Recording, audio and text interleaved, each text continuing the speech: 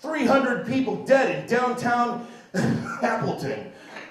But first, here's the weather. What the fuck?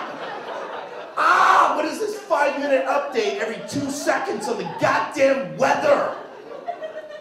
I've got a window! I can look out the window myself. What is this weather report for? Underground mole people who live in caves? Just white, pink eye, albino? Just... We need a five day forecast. Wait five days, then look out your cave hole.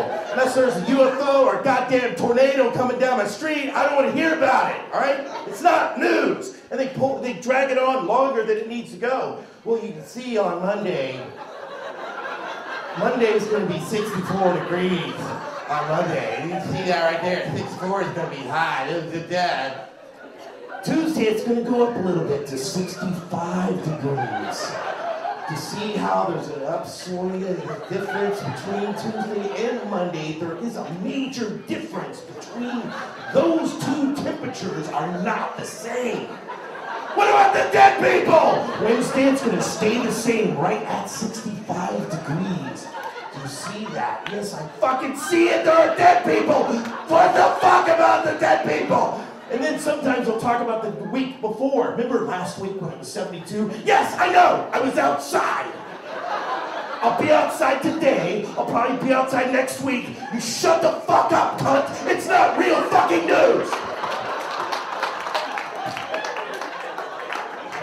And you can't even, you know, you can't get away from it. Even when you go to like, you to go to Walmart, you try to buy something. You know, you go in there, and the, the woman sitting there, she's like, looks like a nice day today.